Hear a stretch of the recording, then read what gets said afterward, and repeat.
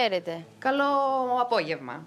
Ε, νομίζω ότι ο κύριος Χατζηδάκης ε, δεν θα μπορούσε να περιγράψει με πιο χαρακτηριστικό τρόπο την κατάσταση στην οποία βρίσκεται η ΔΕΗ. Ε, αυτό που είπε ακριβώς είναι ότι η ΔΕΗ δεν έχει λεφτά να αγοράσει ούτε κολόνες. Νομίζω ότι ε, πιο, πιο χαρακτηριστικά δεν θα μπορούσε να το πει.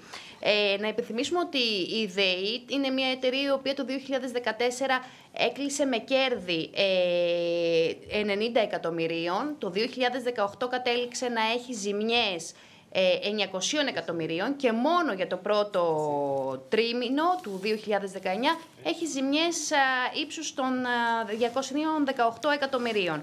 Οπότε καταλαβαίνουμε ε, σε τι φάση ουσιαστικά ξεκίνησε η ΔΕΗ και πού έφτασε. Ε, η ΔΕΗ ταλαιπωρείται ουσιαστικά και από το βαρύδι των α, ληξιπρόθεσμων οφειλών, τα οποία αυξήθηκαν κατά ένα δις μέσα στα τελευταία τέσσερα χρόνια, δηλαδή το 2014. Οι ληξιπρόθεσμες οφειλές ήταν 1,7 δισεκατομμύρια και αυτή τη στιγμή, το 2000, τέλος του 2018, τα ληξιπρόθεσμα της ΔΕΗ ήταν 2,7 δισεκατομμύρια. Αθανασία, ε, πριν συνεχίσεις σχετικά με τι μας μετέφερες στα οικονομικά μεγέθη της εταιρείας, ε, υπάρχει κάποια εξήγηση για αυτή την πορεία των μεγεθών; Για το πώς. Ναι, ναι, ναι. Λοιπόν. Αυτή τη συρρήκνωση των κερδών μετά έχουμε περάσει σε ζημιές πολύ σημαντικές. Ωραία. Πέρα από το γεγονός ότι υπήρχε από την προηγούμενη κυβέρνηση η εντολή το να μην κόβεται ε, το ρεύμα σε ανθρώπους που χρωστούσαν μέχρι ένα ποσό το οποίο διέγκωσε, ε, διόγκωσε συγγνώμη, ε, τις α, ληξιπρόθεσμες οφειλές. Ένας άλλο, ένα άλλο, ουσιαστικά ένας άλλος λόγος που επιβαρύνει περαιτέρω την, τη ΔΕΗ είναι το ποσό των, για τους ρήπους που πληρώνει από τις Το κόστος από τους ρήπους, ακριβώς, ακριβώς, που αυτό είναι ένα χρηματιστηριακό προϊόν ουσιαστικά και η τιμή τους έχει εκτοξευθεί τόσο πολύ με αποτέλεσμα να μην μπορούν να αντιμετωπίζουν και το τόσο μεγάλο κόστος. Μάλιστα, σε ερώτησή μας τότε στην Γενική Συνέλευση ε, που είχε γίνει τον προηγούμενο μήνα, mm-hmm. ε, μας είχαν πει ότι μπόρεσαν και έχουν αντισταθμίσει μόνο ένα 10 με 15% αυτού του κινδύνου. Είναι πολύ μικρό ποσοστό πολύ μικρό, για το μέγεθος τον, του κόστους που, που επιβαρύνεται ουσιαστικά ε, η το κόστος παραγωγής βέβαια έχει αυξηθεί πολύ. Ακριβώς.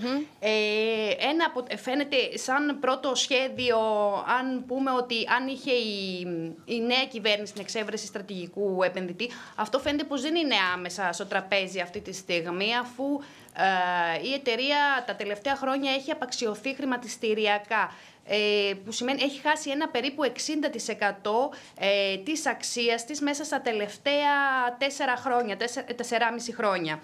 Ε, ε, το πρώτο, σε πρώτο πλάνο φαίνεται πως ε, αυτό που έχει στόχο η νέα κυβέρνηση είναι να πουλήσει κάποια πακέτα μονάδων, δηλαδή ε, πλέον να, να συνοδεύεται η ηλεκτρική μονάδα η οποία δεν προσελκύει τους επενδυτές με μία ε, μονάδα νερού και μία φυσικού αερίου, ώστε να μπορέσουν να βρουν ουσιαστικά επενδυτές που θα δώσουν και το ζεστό χρήμα στην ε, εταιρεία. Θα Αθανασία, να, mm-hmm. να ρωτήσω και εγώ κάτι. Σήμερα είχε μια συνέντευξη ο κ. Χατζηδάκης, αν δεν κάνω λάθος, στο Sky.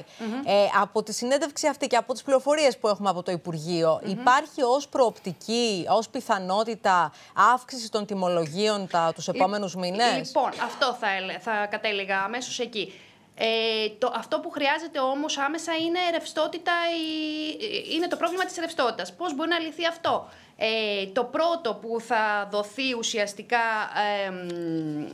η προσοχή και αυτό που υπήρχε ήδη είναι η τιτλοποίηση ε, των ληξιπρόθεσμων οφειλών. Δηλαδή, τι θα γίνει, θα πουληθούν ομόλογα που θα έχουν εξασφάλιση λήξη πρόθεσμε οφειλές με σκοπό από εκεί να αντληθούν 350 εκατομμύρια μέχρι 400 εκατομμύρια. Αυτό είναι το ένα. Νούμερο δύο είναι ε, να, γίνει, να μην υπάρχει πλέον η έκπτωση στους ε, συνεπείς ε, οφειλέτες. Αυτό σημαίνει άλλα 120 εκατομμύρια. Τώρα, αν πάλι υπάρχει πρόβλημα, τότε εννοείται ότι θα οδηγηθούμε και σε αύξηση στα τιμολόγια. Ωραία. Ε, ευχαριστούμε πολύ.